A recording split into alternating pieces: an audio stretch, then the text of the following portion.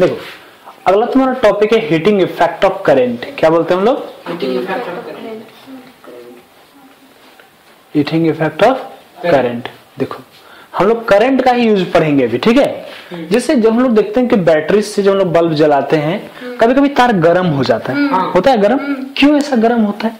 देखो जो उसका रेजिस्टेंस है उसमें जब टकराता है इलेक्ट्रॉन उससे उसके एटम से जाते आने के क्रम में तो उसको हीट हो जाता है। क्या होता है क्योंकि इलेक्ट्रॉन उसमें बहता है तो उसे टकराया तो टकराने से क्या जाता है? गर्म हो जाता है। तो जिसका जितना रेजिस्टेंस रहता है जनरली वो ज़्यादा गर्म होता है। ऐसा पाया जाता है।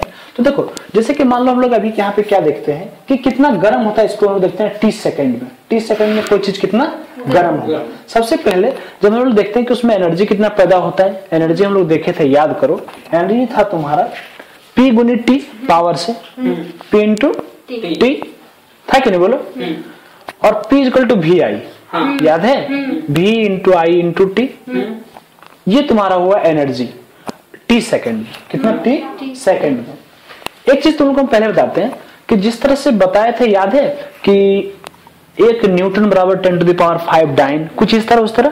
तो उसी तरह एक जूल जो होता है ना बाबू जिससे ऐसा समझो कि एक जूल जो होता है वो कुछ कैलोरी होता है। कैलोरी कितना होता है?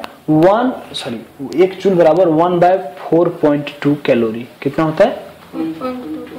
कैलोरी। ठीक है ये सिर्फ़ यूनिट है ये चीज़ कुछ है नहीं। जैसे एक मीटर बराबर सौ सेंटीमीटर ऐसा होता है ना? तुम्हारा बुक में दिया तुम्हारा बुक के हेल्प से इसको पढ़ा रहे हैं। तो क्या होता है ना? जैसे देखो तीस सेकेंड में तुमसे को पूछेगा ये तो जूल में आंसर आएगा। नहीं का बोलो।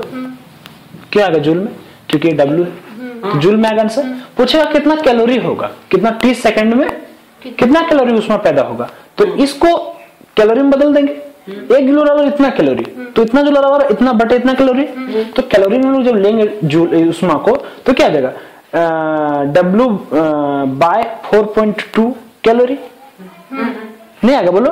और डब्ल्यू की जगह पे बी आई टी लिख सकते हैं। V into I into T बटे क्या? Four point two calorie. क्या? कैलोरी कैलोरी ये तुम्हारा आंसर क्या आ गया? कैलोरी में। तो इतना सेकंड में इतना कैलोरी एनर्जी उसमें हीट के रूप में होता है जो भी व्यय होता है ठीक है? देखो अब हम लोग आगे चलते हैं। एक काम करो इसको हम लिख सकते हैं एच हीट क्या लिख सकते हैं? अब देखो ध्यान से समझ रहा भी आई है। क्या तुम्हारा? भी की जगह पे लिख सकते हैं आई आर आई हाँ। तो आई हाँ, और एक ही आई तो I square into T R into T बटे फोर पॉइंट टू कोई दिक्कत है? उसी तरह याद करो ये दोनों में स्क्वायर जब करेंगे तो आई आर तो भी का स्क्वायर इंटू टी बटे R into four point two याद आया कैसे सो कोई दिक्कत है बोलो? तो ये सब तुम्हारा इतना कैलोरी हो गया क्या? आंसर कोई दिक्कत? आगे चले? देखो अब कुछ कुछ टॉपिक है। जैसे पहला है इलेक्ट्रिक बल्ब इलेक्ट्रिक बल्ब जो हम लोग देखते हैं इलेक्ट्रिक बल्ब अपना दस रुपए में खरीदते हैं फिलिप्स फिलिप्स फिलिप्स का, वो कैसे काम करता है? इसके बारे में थोड़ा तुम लोग को अपना बता देते हैं, बिना कुछ लिखे। जब लोग एक इलेक्ट्रिक बल्ब को लेते हैं तो क्या होता है? कि इसमें इस तरह का तार लगा रहता है। ये जो तुम्हारा पॉजिटिव नेगेटिव के लिए जो दो टर्मिनल के लिए तो इसमें टंगस्टन का वायर रहता है। क्या रहता है? सवाल रहता है कि यहाँ टंगस्टन का वायर क्यों रखते हैं? देखो सबसे पहले इस बल्ब में हवा नहीं रहता है। इस बल्ब में हवा हवा in the sense air oxygen nitrogen वगैरह उसमें नहीं रखते हैं। क्या करते हैं? तो इसमें हवा निकाल लेते तो वैक्यूम टाइप का हो गया।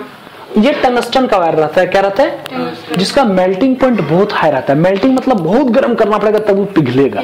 तब वो पिघलेगा। तो इसमें से तो हवा निकाला हुआ है। तो होता क्या है कि इसमें लोग कुछ निष्क्रिय गैस है इसको हम लोग कहते हैं इनर्ट गैसेस क्या बोलते हैं उसको?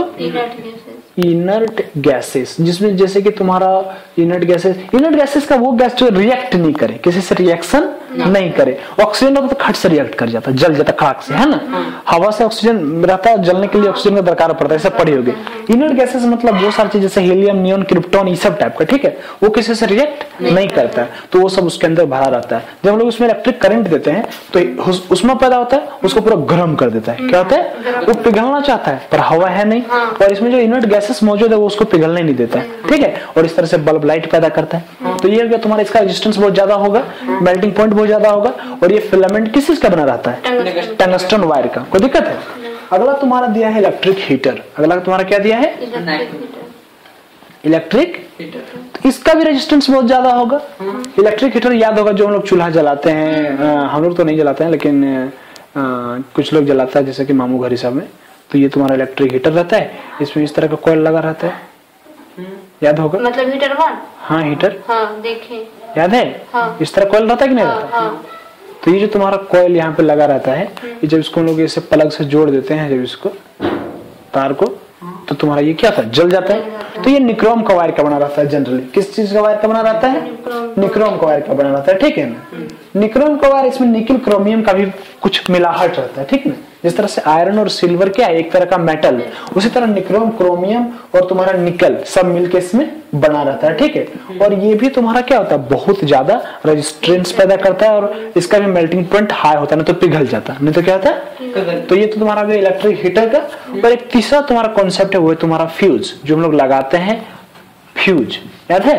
देखो फ्यूज जनरली कैसा होता है? फ्यूज तुम देखना कुछ इस टाइप का होगा फ्यूज जैसे इस टाइप का उठा रहेगा